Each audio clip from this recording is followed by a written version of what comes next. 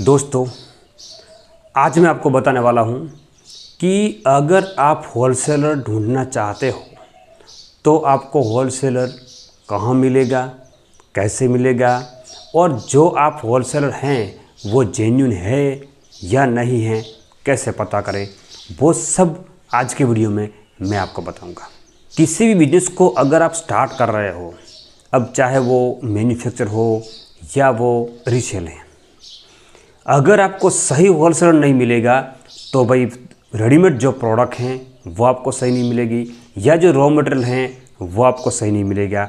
न सही रेट से मिलेगा, न सही क्वालिटी मिलेगी, और न सही क्वांटिटी में जितना चाहिए उतना मिलेगा तो आप बिज़नेस कर ही नहीं पाओगे। बेचने की वगैरह सब तो बात बात बाद में है। पहली बात ये है, सबसे इम्पोर्टेंट बात ये है कि सही क्वालिटी में, सही रेट में हमें माल मिलना चाहिए। तो माल खरीदने के लिए हमें सही होलसेल मिलना ये बहुत इंपॉर्टेंट है।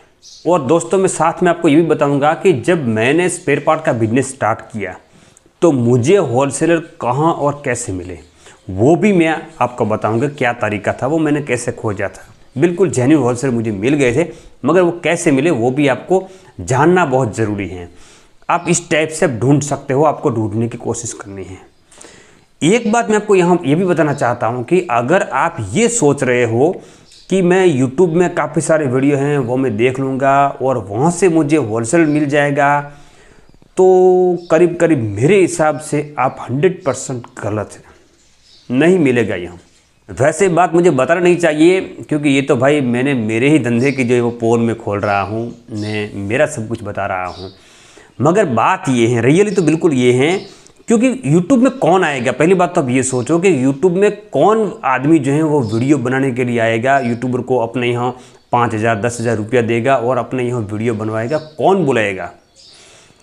जिसके पास इतने कस्टमर हैं कि इनके पास टाइम ही नहीं है, वो तो बुलाएगा नहीं। करीब करीब वही लोग बुलाएँगे जो मशीन वगैरह सब कुछ बेचते हैं। ज़्यादातर वो लोग फ्री होते हैं तो वो लोग बुलाते हैं यूट्यूबर को। ताकि उनके द्वारा उनका माल बिके। तो इसका मतलब ये तो करीब करीब नहीं है कि वो एक बड़े होलसेलर हैं। वो ऐसा मैं ही नहीं कह रहा हूँ कि वो सब लोग फ्रॉड हैं। वो लोग भी बेचते हैं सही तरीके से माल बेचते हैं मगर वहाँ से आपको वो रेट में माल नहीं मिलेगा जो रेट में आपको चाहिए। यानी कि बिल्कुल लास्ट रेट जो बॉटम रेट जिसको बोलते हैं उस रेट से आपको यूट्यूब के वीडियो के माध्यम से जो होलसेल मिलेगी इनके पास से आपको बिल्कुल लास्ट रेट में जो माल जो चाहिए आपको वो नहीं मिलेगा। क्योंकि होलसेलर यूट्यूब में नहीं आते हैं। यूट्यूब की तो बात छोड़ो आ, बाकी जो वेबसाइट हैं जैसे कि इंडिया मार्ट हैं ट्रेड इंडिया हैं जस्टाइल है वहाँ पर भी इनके अकाउंट नहीं है। क्योंकि इनके पास इतना समय वगैरह कुछ है नहीं तो इनको कुछ भी करना नहीं है। और यूट्यूब में तो भाई आपको पता है कि अगर वीडियो देखा लोगों ने और सौ लोगों ने फ़ोन किया तो इनमें से एक या दो लोग माल खरीदते हैं। तो इसमें इनका जो है वो समय बहुत ही वेस्ट होता है तो वो लोग यूट्यूब में नहीं आते हैं। दोस्तों, मैं आने वाले दिनों में एक ऑनलाइन प्लेटफॉर्म बनाने जा रहा हूँ। और इसमें भाई मैं चाहता हूँ कि आप मेरे साथ जुड़ो। इसमें आपको अभी आप अपना जो बिज़नेस वगैरह सब कुछ कर रहे हो, धंधा वगैरह, वो तो आपको करते रहना है। और साथ में आपको पार्ट टाइम इसमें काम करना है। दिन में आधा घंटा, एक घंटे का समय निकाल के आपको इसमें काम करना है। शुरू शुरू में इनमें आपको इनकम बहुत कम होगी, मगर बाद में आपको इनमें इनकम बहुत ज़्यादा होगी। जो अभी फुल टाइम में कर रहे हो, उससे भी ज़्यादा इनकम आपको पार्ट टाइम में मिलेगी। तो उसके लिए आपको क्या करना है कि मेरा जो व्हाट्सअप नंबर है वो मैं आपको डिस्प्ले में शो कर रहा हूँ। आपको अपना नाम अपनी उम्र अपना स्टेट अपना कौन सा सिटी है वो आ, क्या पढ़ा लिखे पढ़े लिखे हो कितने एक्सपीरियंस हैं सब कुछ आपको लिख कर मुझे व्हाट्सअप कर देना है। आपका नंबर जो है वो मैं अपने पास सेव कर लूँगा। जैसे काम स्टार्ट होगा तो मैं आपको एक दो वीडियो बना के आपको भेज दूँगा पूरा काम आपको बता दूँगा। अगर आप करना चाहते हो तो मेरे साथ कर सकते हो। मगर इसमें भाई टाइम लगेगा, अभी डेटा कलेक्शन का हमारा जो है वो काम चल रहा है। तो अभी आपको क्या करना है, केवल अपना बायोडाटा जो है वो मुझे भेजना है। मैं अपने हिसाब से आपको बता दूँगा। अपना नंबर जो आपको चालू रखना है, इनको बंद नहीं करना। अगर बंद कर दोगे तो फिर आपका मुझसे कोई कांटेक्ट नहीं होगा। थोड़ा होलसेलर हैं, इनसे भी आपको बच के रहना है। अब कैसे वो मिलेगी, हम वो बात करते हैं। मैं अपना एग्ज़ाम्पल आपको बता दूँ। कि मैंने जब ये जो एंड्रॉयड मोबाइल आया, इनसे पहले जो नॉर्मल फ़ोन थे या जो टच स्क्रीन वाले फ़ोन थे तो उस वक्त जो है वो भाई मैं स्पेयर पार्ट बेचता था। अब बेचता था, इनसे पहले मैं आपको बताऊँ कि मैं अपना जो फ्रेंड है, वो मोबाइल रिपेयरिंग का काम करता है तो उसकी दुकान पर मैं एक दिन बैठा था और मैं इनसे बता रहा था कि भाई मुझे कुछ बिज़नेस करना है। तो उसने बोला कि ऐसा करो, अभी स्पेयर पार्ट का जो है वो बिल्कुल अच्छा धंधा है, वो चल रहा है। लोग दिल्ली जाकर माल ला रहे हैं और यहाँ पर बेच रहे हैं और अच्छा खासा इसमें प्रॉफिट कर रहे हैं। कुछ लोग महीने के एक एक लाख, दो दो लाख भी कमा रहे हैं। तुम इसमें जा सकते हो, ये बहुत ही बढ़िया बिज़नेस है। तो मुझे लगा कि हाँ यार वही बहुत बढ़िया है, चलो मुझे करना चाहिए। तो मैंने सोचा कि चलो मैं दिल्ली चले जाता हूँ, मगर फिर भी सोचा कि यार दिल्ली जाके क्या करूँगा? दिल्ली में कहाँ माल मिलता है, मुझे मालूम नहीं है। अगर मार्केट मुझे मिल ही जाएगा तो भाई आ, कौन होलसेलर हैं वो मुझे पता नहीं है तो माल किसके पास से खरीदूँगा? और मुझे इन स्पेयर पार्टों के बारे में कुछ जानकारी भी नहीं थी तो कौन कौन से स्पेयर पार्ट खरीदूँ? मार्केट में कौन से चल रहे हैं कौन से नहीं चल रहे कुछ मुझे नहीं मालूम था। तो मैंने सोचा कि चलो दिल्ली तो नहीं जाना है। तो मेरे जो मित्र हैं उन्होंने बोला कि हमारे यहाँ बगल में एक भाई रहते हैं जो स्पेयर पार्ट बेचते हैं। वो दिल्ली से बहुत ज़्यादा क्वान्टिटी में ख़रीदते हैं और यहाँ पर जो है वो बेचते हैं। वो फेरियों को भी देते हैं और डायरेक्ट दुकानों भी देते हैं। तो तुम इनके पास से खरीद सकते हो। तो मैंने बोला हाँ ये अच्छा आइडिया है। हम लोग, मैं और मेरे मित्र, हम लोग उस भाई के पास गए और उनके पास से मैंने जो है वो पहले दिन कोई दस बारह हज़ार का स्पेयर पार्ट ख़रीदा था। उस वक्त भाई मुझे बहुत प्रॉब्लम हो रही थी क्योंकि उसका नाम जो मुझे याद नहीं रहते थे। कि भाई ये सी सी कौन सा है, या बी सी कौन सा है, इसमें सी सी आते थे बी सी आते थे रिंगर आते थे छोटे छोटे माइक आते थे, और कुछ बेल्ट वगैरह सब कुछ, काफ़ी सारे बेल्ट आते थे कि इनके बेल्ट है, इनके बेल्ट है, इनके बेल्ट है। डिस्प्ले भी काफ़ी सारी थी, वो वो भी मुझे नाम याद नहीं रहते थे कि ये कौन सी डिस्प्ले ये कौन सी डिस्प्ले ये कौन सी डिस्प्ले तो बहुत कुछ था, मगर धीरे धीरे वो मैं सीख गया। तो इनके पास जो जो वो मैंने स्पेयर पार्ट ख़रीदा और मार्केट में बेचना शुरू कर दिया है। मुझे उस वक्त 30 से 35 परसेंट जो है वो प्रॉफिट इसमें मिल रहा था। अब मैं हर बार ये सोच रहा था कि यार मुझको मुझे इनके पास से माल नहीं खरीदना चाहिए, मुझे डायरेक्ट सीधा दिल्ली पहुँच जाना चाहिए और मुझे वहाँ से माल खरीदना चाहिए। तो मैंने उनको कई बार पूछा कि भाई अब दिल्ली यार जा रहे हो? कभी कभार मुझे भी साथ में लेके जाओ तो मैं भी देखूँ कि दिल्ली में मार्केट कहाँ है, कैसा मार्केट है। मगर वो मुझे नहीं लेके जा रहा था, मना कर रहा था कि हाँ ले जाऊँगा, मगर बाद में, मगर बाद में मेरी बात को टाल रहा था। तो क्योंकि उन्हें सोचा, उसने, वो शायद ये सोच रहे थे होते थे कि अगर मैं इनको साथ में ले गया तो वो अपने हिसाब से माल लेना शुरू कर देगा और मेरे पास से खरीदना बंद कर देगा। ये इनको डर था। तो वो मुझे नहीं बता रहे थे। मगर एक बार भाई क्या हुआ कि इन्होंने मुझे एक डायरी दी। इतनी छोटी डायरी थी, इनके ऊपर लास्ट में लिखा था करोल बाग दिल्ली। बस इतना लिखा था, कोई मोबाइल नंबर, कोई एड्रेस, अपना मोबाइल नंबर कुछ नहीं लिखा था। और इनके ऊपर काफ़ी सारे जो अलग अलग स्पेयर पार्ट के जो फ़ोटो जो हैं फ़ोटो वगैरह थे, अभी मेरे पास डायरी पड़ी हुई थी, मगर अब नहीं मिल रही है तो मैं नहीं दिखा रहा हूँ आपको। तो मैंने सोचा कि हाँ चलो ये दुकान का नाम तो मिल गया, ये दुकान का नाम है, अब चलो मैं इनके पास से जाकर स्पेयर पार्ट खरीद लूँगा। तो मैंने अपने मित्र को बोला कि, भाई, माई, मुझे दुकान का नाम तो मिल गया है, और इनका जो मार्केट है वो करोड़ बाग में है। और वो भी मैंने व्यापारी के पास से सुना था कि करोड़ बाग में इनका बड़ा बड़ा मार्केट है। तो ये सब मिल गया। तो चलो अब दिल्ली चलते हैं। तो उसने बोला कि देखो, ये दुकान का नाम मिला तो कहाँ? तो उसने बोला एक और दुकान का नाम तो मुझे पता है, क्योंकि एक दो बार मेरे जो फेरिए थे, इनको मैंने पूछा था, इन्होंने बोला था कि ये एक दुकान दिल्ली में बड़ी दुकान है। तो ये दो नाम थे हमारे पास। हम लोग भाई चले गए दिल्ली करोड़ बाग में। वहाँ जाकर हमें दुकान ढूँढने में पूरा दिन लग गया। कोई, काफ़ी सारे लोगों को हमने पूछा, मगर कोई बता नहीं रहा था। और लगभग शाम के सात बजने वाले थे। तो एक भाई ने मुझे पूछा कि जो वहाँ पर एक बैंक था कि उसने बोला कि एक बैंक के पीछे जो है वो ये दुकान है। तो भाई हम वहाँ पर, वो बाबा प्लाजा शायद नाम था उसका तो हम वहाँ पर पहुँच गए। और वहाँ दुकान जो है वो हमको मिल गई। उस दुकान के अंदर छः से सात लोगों का स्टाफ था और उतने ही ख़रीदार भी थे जो लोग बैठे हुए थे। अपने पास अच्छा खासा माल जो है वो था। दुकान बहुत बड़ी थी, काफ़ी सारा माल पड़ा हुआ था। थोड़ा अस्त व्यस्त पड़ा हुआ था इतना। बिल्कुल जमा कर नहीं रखा था। कोई एसी वगैरह की इसमें कुछ सुविधा वगैरह नहीं थी भाई। केवल पंखर वगैरह सब कुछ चलते थे। दुकानदार को मैंने बोला कि भैया हमें स्पेयर पार्ट चाहिए, हम लोग गुजरात से आए हैं। तो दुकानदार ने बोला कि भाई अभी जो है वो मेरे पास कोई हमारा स्टाफ जो है वो फ्री नहीं है। आप ऐसा करो, कल आना। कोई बात नहीं, हम दूसरे दिन उनके पास चले गए। तो दूसरे दिन जो है वो भी तीन चार कस्टमर हमारे, मेरे से पहले ऑलरेडी आकर बैठे हुए थे। मैं भी यहाँ गया और लगभग हम वहाँ पर तीन चार घंटे बैठे और हमने वहाँ से स्पेयर पार्ट लिया अलग अलग टाइप का स्पेयर पार्ट लिया।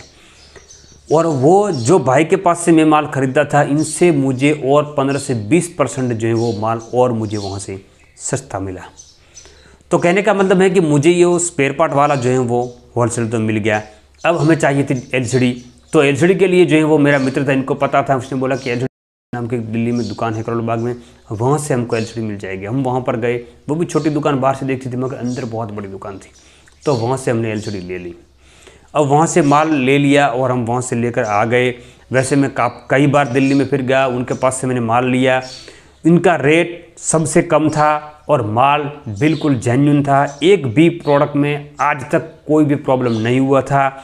तो मतलब कि बिल्कुल जेन्यून सप्लायर था जेन्यून होलसेलर था। एक बात मैं आपको ये भी बता दूँ, ये दोनों दुकान में से एक भी दुकान का वीडियो यूट्यूब में मैंने आज तक नहीं देखा।